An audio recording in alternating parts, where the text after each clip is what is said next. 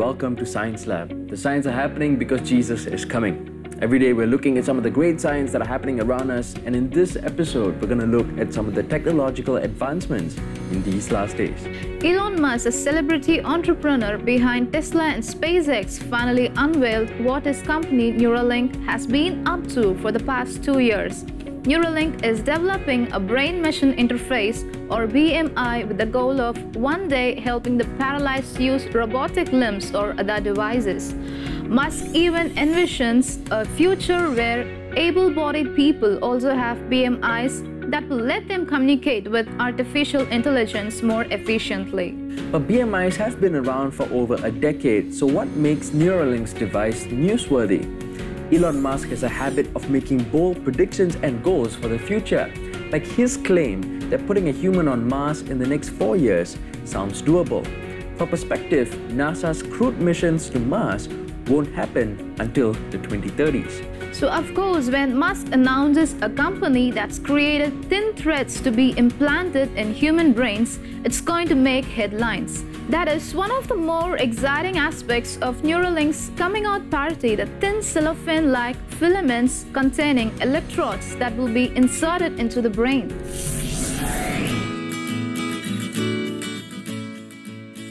BMIs that have come before use an array of stiff needles with electrodes to detect neural activity. As you might imagine, squishing a microscopic pincushion into your brain causes some damage and the recovery process can lead to some points of contact being lost over time. The brain also shifts inside the skull, and when that happens, the needles can cause further damage. Flexible threads of electrodes, just 4 to 6 micrometers wide, could be less invasive and damaging. Neuralink also claims they would allow for a higher volume of data since they could use over 3000 electrodes, while some current BMIs have up to about 100. But their flexibility also makes them harder to insert, like pushing on a rope. To go along with their threaded electrode development, Neuralink also announced a remotely operated neurosurgical robot capable of inserting 6 threads a minute. Imagine a microscope and a sewing machine had a baby and you get the gist of it. But Musk's company still has bigger goals in mind. They are also hoping to do away with the mechanical drilling necessary to pierce the skull and get to those delicious brain meats. A physical drill sends vibrations through the skull. Instead, Neuralink would like to crack your bone bucket with lasers. And once they are done, lasering holes in your skull and using RoboSewer to run you full of electrodes, they would like to seal your skull up again completely. Right now, BMIs rely on some sort of port sticking out of the skin. Neuralink's prototype has a USB-C plug to connect it to hardware outside. A wireless connection would probably mean less data could be sent back and forth, but it would eliminate the open hole in the skull, a prime site for dangerous infections. Neuralink envisions a sleek battery powered computer sitting behind the ear that will communicate with implanted chips connected to four different areas of the brain. It might even be controlled by an app. Some of the uses of BMIs are obvious. People in wheelchairs could control it with their minds instead of a joystick. Those who have lost limbs could have a connection to a robotic arm they can manipulate. And Musk envisions is threads of electrodes, not only being used to detect brain signals, but giving feedback as well. Controlling an arm that doesn't tell you where it is, it's like moving a limb that's fallen asleep. Some sort of sensory feedback would go a long way to making the technology more practical. But Musk also sees uses for his technology that are not as readily apparent. Right now, the way your brain communicates with the outside world is pretty limited. If you want to talk to a computer, you've got your mouth for speaking and your fingers for typing, and that's about it. Musk envisions high bandwidth communication directly from your brain to machines and vice versa. He hopes to make the human relationship with AI a symbiotic one instead of his famously pessimistic outlook on the future of artificial intelligence. Before any of this can happen, Neuralink needs to get approval from the FDA to begin testing their technology in humans. The threads need to be proven to survive the highly corrosive salty solution inside the brain. And there's a host of ethical, security, and privacy issues that need to be worked out as well. Right now, Neuralink technology has only been tested in rats, and the grander ideas they have proposed were in a white paper that has yet to be peer reviewed by other academics. Musk hopes to have human trials beginning by the end of 2020.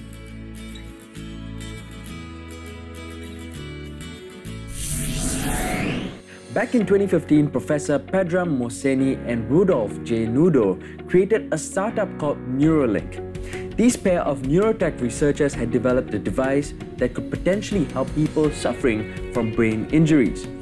Investors didn't show a great deal of interest, but in 2016, a mysterious unknown investor came along with an offer to purchase the rights to the name Neuralink for tens of thousands of dollars. They sold, and that investor later turned out to be the multi billionaire Elon Musk. Fast forward to the 27th of March 2017, and Musk announces that he will be backing a new brain computer interface venture, Neuralink. The ultimate goal of this new company is to merge man with machine, fusing human intelligence with artificial intelligence to bring humanity up to a higher level of cognitive reasoning. Without this technology, Musk argues that humans will be unable to keep pace with advances in artificial intelligence and that humans will become the intellectual equivalent of the house cats. So far, Musk has been calling this brain computer interface technology neural lace. In essence, neural lace is an ultra thin mesh that is implanted in the skull and forms a body of electrodes which are able to monitor brain function. It's not entirely clear at this time how far along the technology is in its development phase, but eventually, neural lace should enable humans to upload or download information directly from a computer.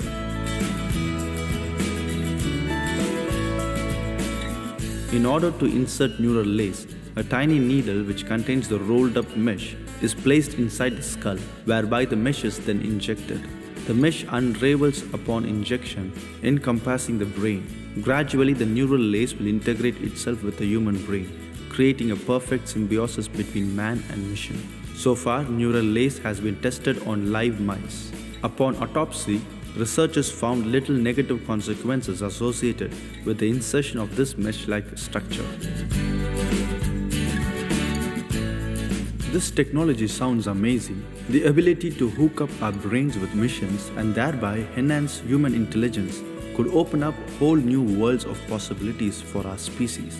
It could even be the catalyst for almost mythical technological singularity. However, some critics are raising concerns about the ethical and real world implications and consequences of this technology.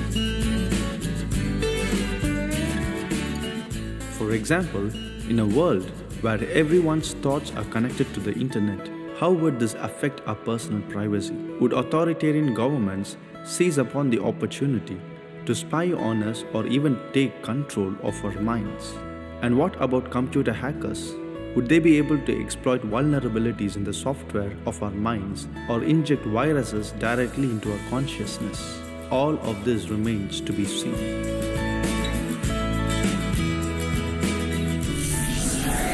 And now it's time for the trivial question of the day.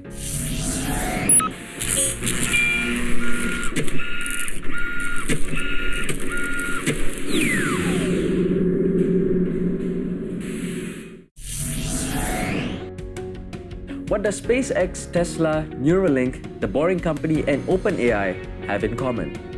And the options are option A, they are co-founder by Elon Musk, option B, they are owned by Elon Musk relatives, and option C, companies Elon Musk worked. We'll find out the answer after a short break.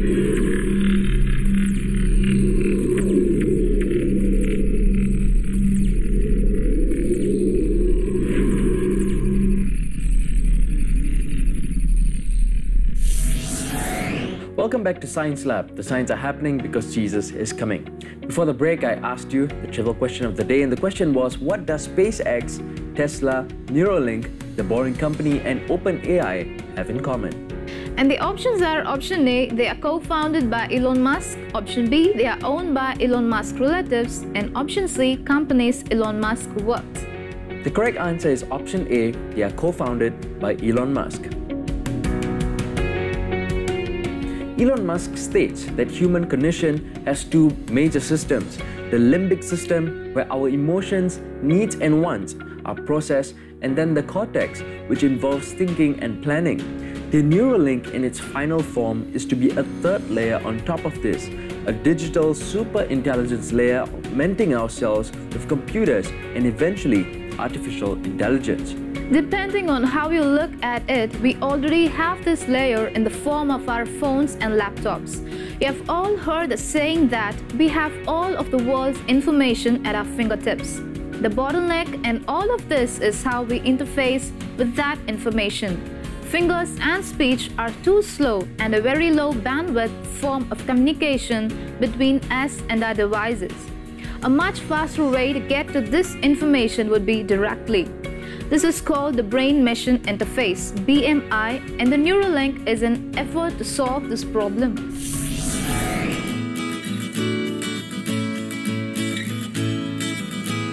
It's already been a massive multidisciplinary effort. It includes scientists, doctors, electrical engineers, surgeons, and more. So, how does it work? Our brain consists of neurons firing all the time in response to electrical signals sent when we see, hear, move, talk, or think.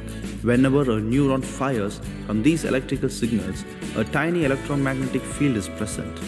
Basically, Neuralink is going to tap into these tiny electric fields generated as sinus junctions in the brain. It's going to interpret this analog data as ones and zeros to be used in the digital world. The neuron pulses will be detected using tiny threads about one tenth the cross section of a human hair, or about the size of a neuron. Each thread is to be installed with a robot, so it's not going to burst blood vessels or cause trauma. The needle for insertion is 24 microns in diameter, much smaller than the state of the art in deep brain stimulation. Such surgeries have been done before for deep brain stimulation for Parkinson's sufferers. Though these traditional methods have a 1 in 100 chance of causing a severe brain hemorrhage, a smaller footprint should make things much safer. The state of the art for Parkinson's deep brain stimulation has around 10 electrodes. The Neuralink contains thousands of electrodes these electrodes need to be less than 60 microns away to detect a fire in neuron and serve as the interface that reads data from the brain and sends data to the brain. The processor for making all of this work is something called the N1 chip. The N1 chip reads analog brain signals, amplifies them, digitizes them, processes them, and then sends it out to a pod device behind the ear. The pod device is the only thing that's going to be upgraded, and the implants stay as they are. Remove the pod and everything shuts off. The N1 chip is 4 by 5 millimeters, low power and has built-in hardware for processing brain signals. It can read 20,000 brain samples per second. So these are real raw signals coming from the Neuralink hooked up to a brain. What the scientists are looking for are spikes and voltage when a neuron fires. This is the fundamental element of communication within the brain. An algorithm can detect these spikes in real time, decode them, and make sense of the vast amounts of data coming in. This system can not only read data from the brain but also write data. To do this, a signal is run through an electrode near a neuron, causing that neuron to fire. This kind of thing again isn't new and has been done since the late 1950s. It's actually the basic technologies behind the cochlear implant, the one that helps restore hearing. The information inputted into the brain doesn't have to be perfect because of neuroplasticity. This means the brain learns how to use the new information, reading data from the brain and inputting data into the brain can be and already kind of has been used to treat things like Parkinson's and epilepsy. But future applications can include things as far as depression and chronic pain. Further applications couldn't create a function in memory.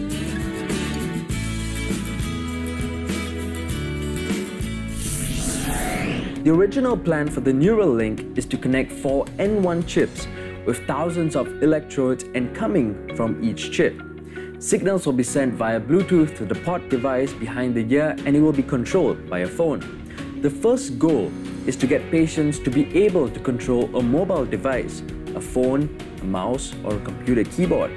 The Neuralink will show up as a regular Bluetooth keyboard or mouse, and they want to make people fully independent their caretakers. This sounds lofty but has already been done before with a technology called the Utah Array. With only just a hundred electrodes, patients are able to text other people and control tablets with their minds. Remember, the Neuralink has thousands of electrodes, resulting in a cleaner, more reliable signal for more complex applications. The first application for the Neuralink is to tap into the primary motor cortex, the part of the brain that sends signals down to the spinal cord and onto the muscles to drive the movement. It will start with simple things like a mouse and keyboard, but could also be used to read signals from all movement, even speech. And finally, it could be used to restore movement of someone's own body. The material science team wants to use materials or properties that would make the brain not only accept the Neuralink, but think that it's part of itself. The team has already released a paper of reading, recording, and studying data from brains using their N1 chip. It's fairly controversial, but early tests on monkeys have been successful. Human patient trials are set to start by the end of 2020. The target patient will be a quadriplegic due to a spinal cord injury. The main hurdle so far has been FDA approval for implantable devices, so the future of Neuralink will be in three stages. Stage 1 is to understand and treat brain disorders, starting with people with serious medical needs. Stage 2 preserve and enhance one's own brain. Stage 3 full brain machine interfaces. In the future, that could even be a kind of app store for programs that you can download and control with your brain. Other possibilities from the presentation include a new kind of communication, kind of like telepathy, or downloading the memories of someone who is familiar with a city so that when you go to that city, you feel familiar with it too. The possibilities are kind of endless. But of course, these are the very early days and we hardly understand anything about the brain right now. Although what the Neuralink is basing itself off has already been done in the medical field for decades. What they are proposing is a giant leap above all of that, and it's going to be a long road to get there.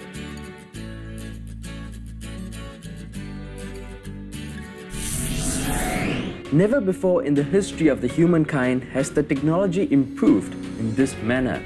Life has transformed into more than living. We are about to become one with technology.